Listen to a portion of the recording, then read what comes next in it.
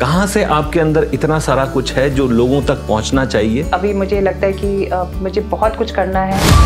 आपने जब वहाँ पर काम किया तो आपको क्या महसूस हुआ कि कौन सा दर्द बाकी है? बहुत दर्दनाक स्थिति थी क्योंकि मैं उन एरियाज़ में गई जहाँ पे आम आदमी नहीं पहुँच पा रहा था स्लम एरियाज़ में।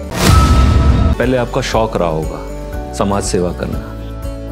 लेकिन ये छोटी छोटी जो आप लोगों में खुशियाँ बांटते हैं या उनके लिए कुछ करते हैं तो आपको बहुत आत्मसंतोष मिलता है। और गज़ल कहीं ना कहीं लुप्त होता जा रहा है। ये ये चीज़ें कभी लुप्त हो नहीं सकती। हाँ ये ज़रूर है कि उसके जो श्रोता हैं वो कम होते जा रहे हैं। जहाँ रिक्वायरमेंट होती है ना वहाँ आप लोगों की ज़रूरत बहुत ज़्यादा है। मेरा आसमान में खास बातचीत सिंगर नाट संस्थापक निशी सिंह से। रविवार रात आठ बजे सिर्फ़ न्यूज़ वर्ल्ड इंडिया पर।